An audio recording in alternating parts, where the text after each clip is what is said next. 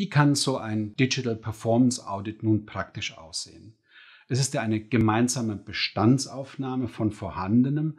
Das heißt, wir setzen auf Inhalte auf, die es bei Ihnen im Unternehmen schon gibt. Wir erwarten nicht, dass neue Dokumente produziert werden. Wir würden gemeinsam festlegen, welche Gesprächspartner wichtig sind, welche Stakeholder einen guten Blickwinkel für diese Diskussion beitragen können.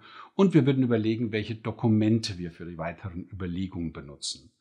Typischerweise sind das Digitalisierungsstrategien, Unternehmensstrategien, QM-Strategien, aber auch ganz praktische Themen wie Projektportfolios, Projektplanungen oder Bebauungspläne für Ihre Applikationslandschaft, falls es das gibt. Als Ergebnis können Sie zwei Arten von Handlungsempfehlungen erwarten.